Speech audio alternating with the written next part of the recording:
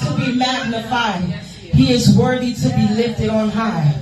We thank God for his presence in this place. We thank God for your presence in this place to, to come and hear the, the words of God, to come and hear what God has for you today, this morning. So today, I want you to turn with me to John chapter 1. I'm going to be reading verses 21 to 23. John chapter 1, verses 21 to 23. I'm sorry, I'm going to be reading from verses 19 to 23. It says, Now this was John's testimony. When the Jewish leaders in Jerusalem sent priests and Levites to ask him who he was, he did not fail to confess, but he confessed freely, I am not the Messiah. They asked him, Then who are you? Are you Elijah? He said, I am not. Are you the prophet? He answered, No. Finally, they said, Who are you? Give us an answer to take back to those who sent us. What do you say about yourself? John replied in the words of Isaiah the prophet, I am the voice of the one calling in the oh, wilderness. Make straight the way for the Lord. John said, I am the voice calling in the wilderness. Make straight way for the Lord. Now, today, my question to you is what voice has your ears?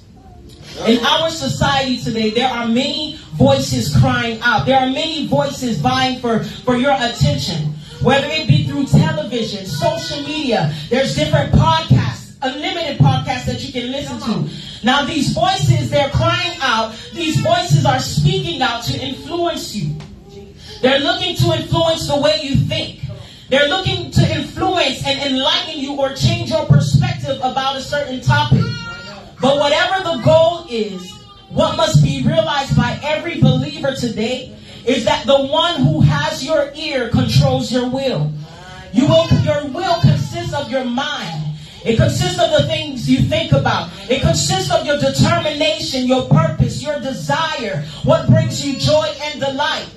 See, the voice that cries out the loudest, the voice that is consistent in your life, will be the voice that drives you. That's good. See, the voice that you lend your ear to can, can be a voice of healing and restoration. But but then it, it can also be of brokenness and destruction. Sadly, many people today are not able to distinguish the difference between the, the voices that is leading their life. Why?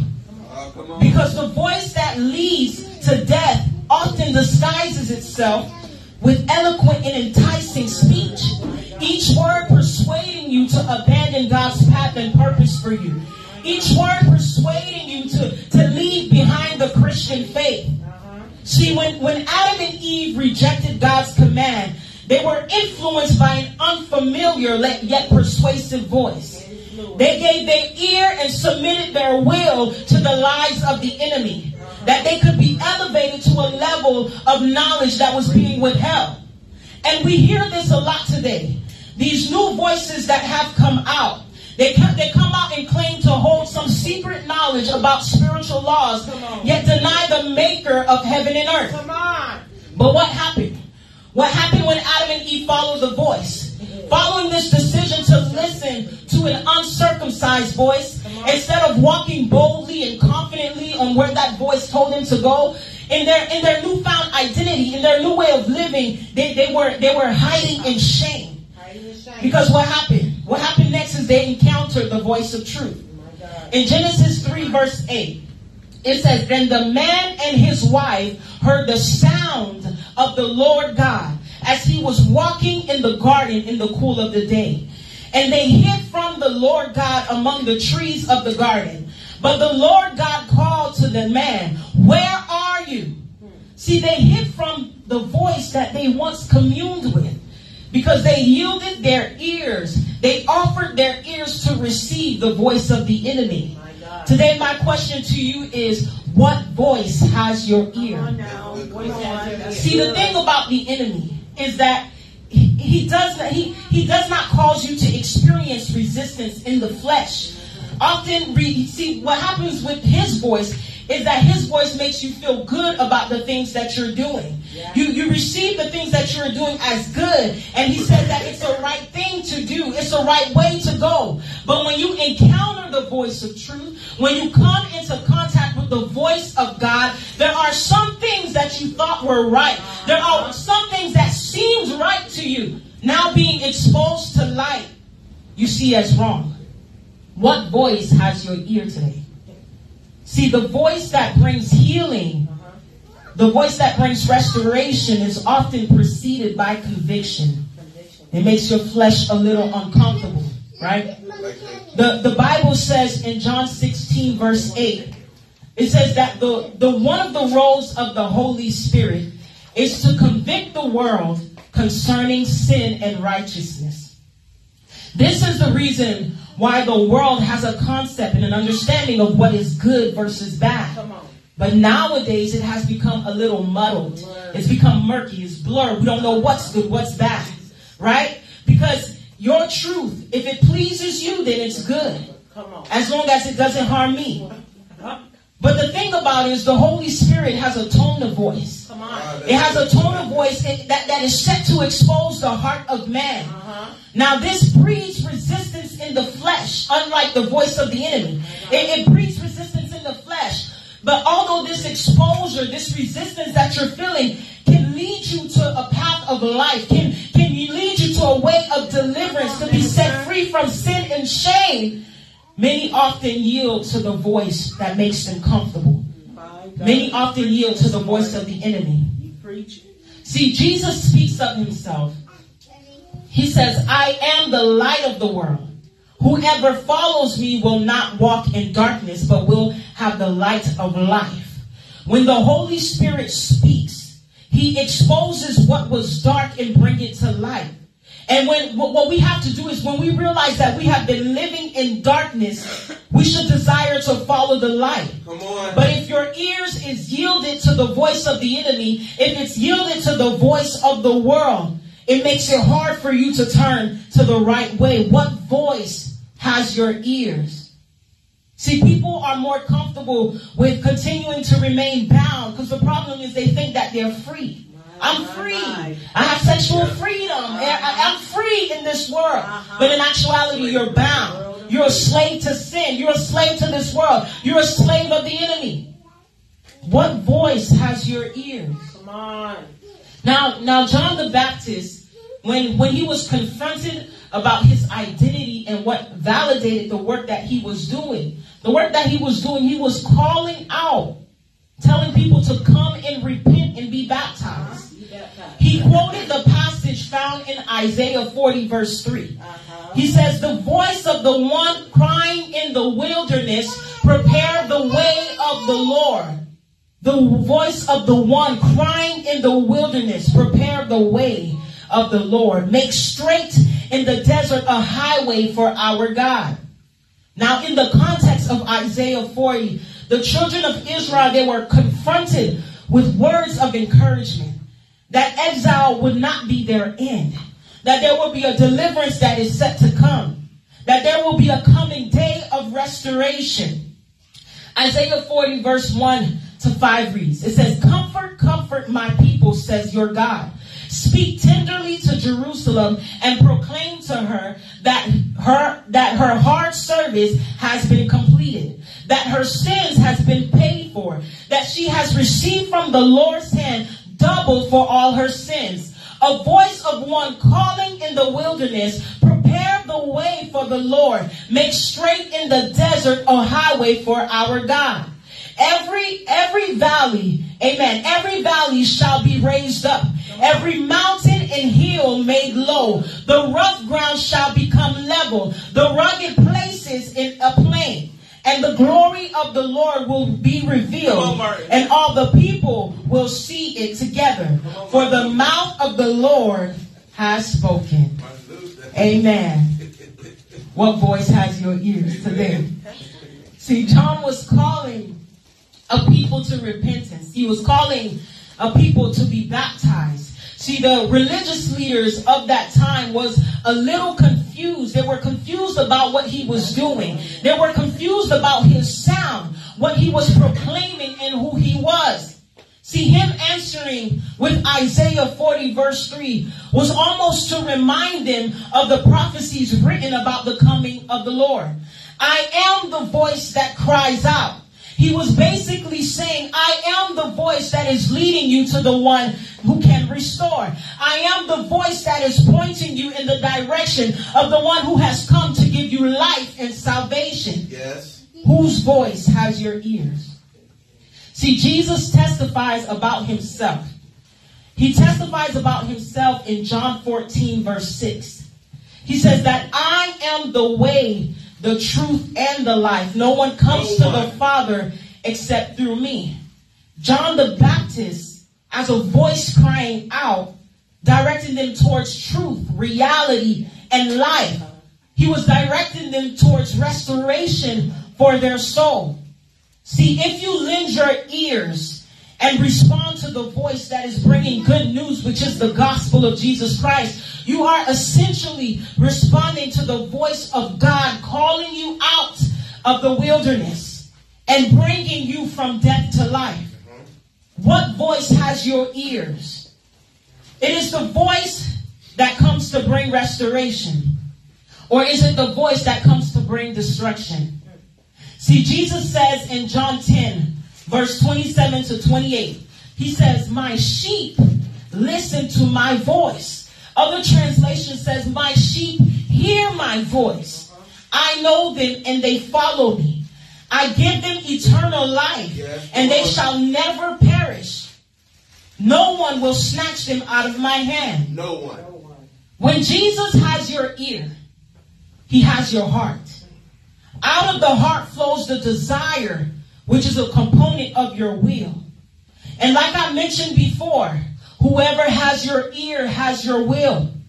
When Jesus has your ear, amen, your desires becomes that of wanting to please him. It becomes that of wanting to live according to his word, live according to how he has directed you. If you have not submitted your ears to the voice of God and are consumed by the voices of the world, who is in love with the world and calling you to live like the world, when the end comes, how will you hear him? How will you hear Jesus? See, Jesus says in, in John 10, he said, in John 5, I believe, he says in John 5, 28 to 29, he says, Do not be amazed at this, for a time is coming when all who are in their graves will hear his voice. But if now your voice is submitted to the world, how will you hear his voice when he comes? In verse 29, it says, And come out. Those who have done what is good will rise to live, and those who have done what is evil will rise to be condemned. Do you want to rise to live when the end comes? Or do you want to rise to be condemned? See, I encourage you today to consecrate your ears. Be mindful of what you're listening to. Consecrate your ears so that the voice that has your ears is the voice of God and his mes- messengers that he has sent to you. That he has sent to you to draw you closer to him. Because according to John 10, verse 1 through 5, when you have become acquainted with the voice of the Lord, unlike Adam and Eve, when you hear a stranger's voice, a voice that is not circumcised by God, you will not follow it. Adam and Eve, they followed a stranger's voice. But in order for us to not follow a strange voice, we have to become acquainted with the voice of our Creator. There's too many strange voices out here. Too much. They sound like they're telling the truth. Like It's so enticing. It's so persuasive. Uh-huh. But in actuality, they're drawing you away from God. They're drawing you from His order. They're drawing you from being aligned with His purpose. I encourage you to consecrate your ears. What are you listening to? What are you submitting your ears to? This is why. This is why it's important that you are mindful. Amen. That you are mindful of the people that you hang around. Not only the things that you listen to on social media, but your, ah. your circle of friends, the people that you call friends. See, the Bible says in 1 Corinthians 15, verse 33, He says, Do not be deceived. Bad company ruins good morals. How can your morals be ruined? By unhealthy conversations. What is that? That is a sound that is traveling. That is a voice that you're listening to. Your morals become corrupted when surrounded by voices encouraging bad morals. Things that you wouldn't have dare participated in. Now you do it because the voices that has your ears is encouraging you. It's telling you that it's the right way to go, that it is a good thing to sleep around. It is a good thing, amen, to, to do this and do that. You have to consecrate your ears. Not only by the things that you listen to on social media, but even the friends that you have. Come on. What voice has your ears? It's time to stand alert. As believers, because the spirit is always at war with the flesh, you will often hear the voice of the enemy. Speak things about you contrary to the word of God. See, the world calls it intrusive thoughts, but it's the voice of the enemy trying for, trying for you to do certain things. Yes. But as a child of God, you have be you have been given authority to tell that voice to shut up. Authority. Shut up. Shut up and respond. I know who I am. I am the righteousness of God, mm-hmm. called according to his purpose. My God. I remember there was a season when I moved back home from when I moved back home from Tampa. My mind was being attacked by the enemy. This is where the enemy loves to play with me. It's in my mind. My mind was being attacked because things were not going right in my life. I was always used to, um, I always was able to take care of myself financially. I didn't even have a job in high school, but I was able to take care of myself financially. But that season where I didn't have a job, there was no finances nowhere, and I didn't like asking people for money, not even my mom. I don't blame There was no finances anywhere, right? The enemy started speaking thoughts or starting um, um, giving me thoughts of suicide, that I was not worth it. That well, what is the point of you being here? And one day I put on TD Jakes. It was the old TD Jakes. He was he was talking about prayer. He was talking about prayer, and one of his songs used to say, "Pray, pray." I started praying. I started responding to that voice that wanted me to take myself out. I started responding to that voice, letting that voice know that I have authority, I have power, that I am the righteousness of God, that there. is purpose. God has called me, He has kept me for a reason, that I have purpose. One of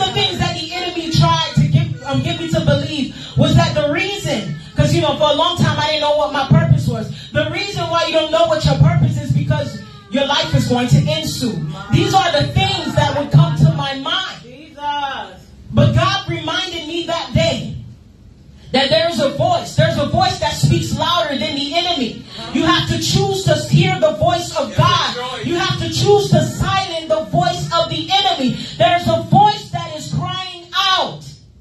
What voice has your ears? What voice has your ears? There's a voice crying out, prepare the way of the Lord. Prepare the way of the Lord.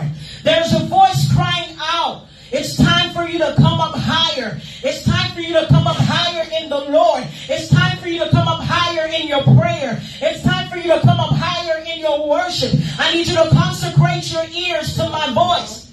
There's a voice calling out for more of you. More of you. More. God wants more of you. He wants more of you. He desires to be intimate with you. He desires to have intimate relationship with you. But you have to you have to decide if you're going to silence the voice of the enemy. Are you going to silence these strange voices that is speaking lies? That's a good question. Amen. These voices. What voice has your ears? My God. There's a voice that lies and there's a voice of truth. This voice of truth is the voice of God that is calling you out of darkness and into his marvelous light. The voice of truth will not lead you into death and destruction. No. The voice of truth will not cause you to, to go under. That's The right. voice of truth is leading you to life. There is ways that you can go. There's a broad way and there is a narrow way. The Broadway is more comfortable. The Broadway pleases the flesh. The Broadway, it, it, it pleases what your heart desire. But there is a voice that is calling you, calling you to the narrow way. Because this is the way that is going to bring you to life. This is the way that is going to shut off bad habits and bad behaviors, those things that you need help with. That is the way that you need to go. There's a voice calling out in the wilderness. Which voice are you going to listen to? Which voice will you lend your ears to? What voice will you lend your ears to? That is the question of today. When you go home, begin to take a look at your playlist on YouTube. Begin to take a look at your playlist on Spotify. See the things that you are listening to.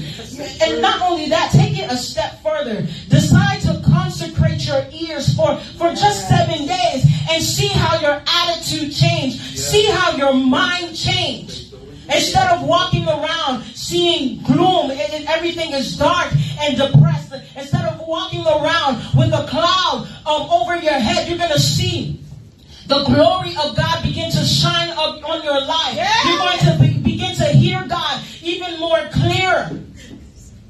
Some of us, we desire to hear the voice of God, but we're not willing to sacrifice those things that takes us away from the voice of God. Some of us desire to get close to God, but we're not willing to shut off those voices that draws us away from God.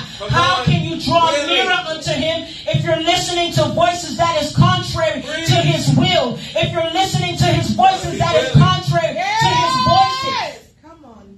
How can you draw nearer unto Him?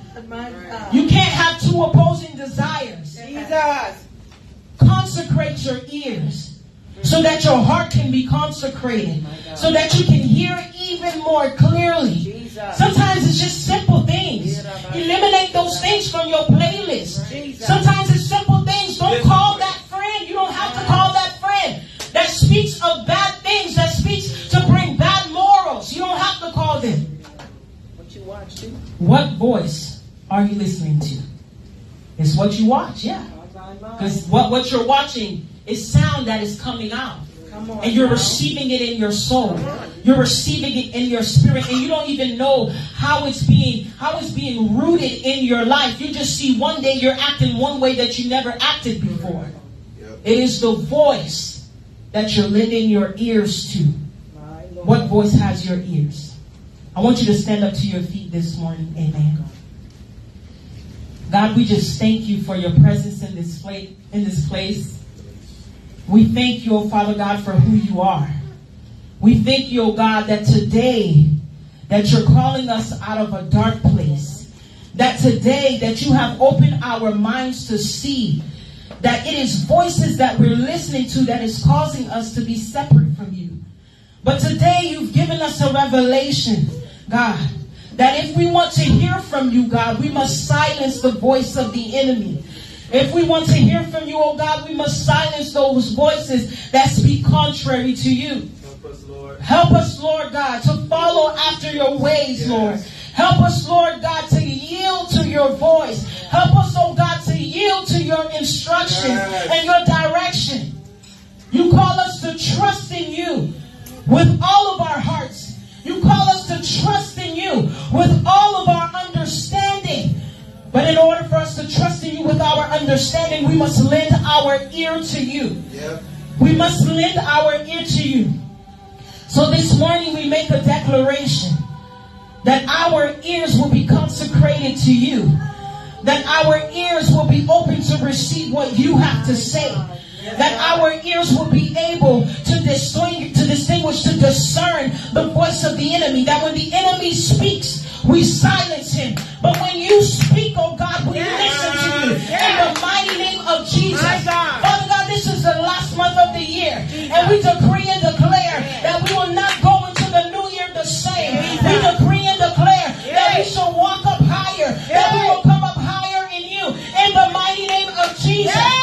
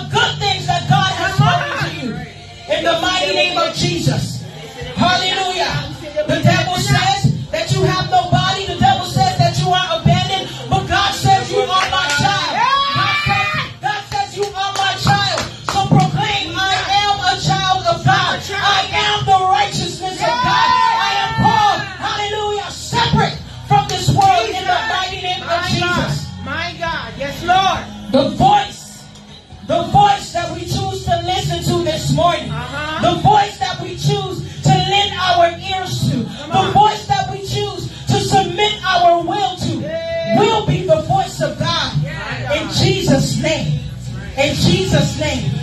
Now, if there's anyone here, anyone in Facebook that does not know God, that does not know Jesus as your Lord and personal Savior, I'm asking that you say this prayer with me. Say, Heavenly Father, I confess today that Jesus is Lord. Thank you for sending him to die for my sin.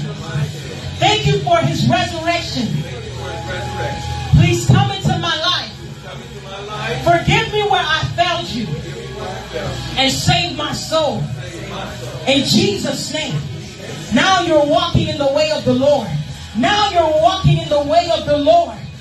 All you have to do is lend your voice. Lend your voice to God in the mighty name of Jesus. Come on and give God a hand clap of praise in this place. Those who have accepted the Lord Jesus as your personal Savior, we just ask that you email us at houseoflovefl at yahoo.com so that we can walk alongside you in this journey with God. Now we're going to go ahead and transition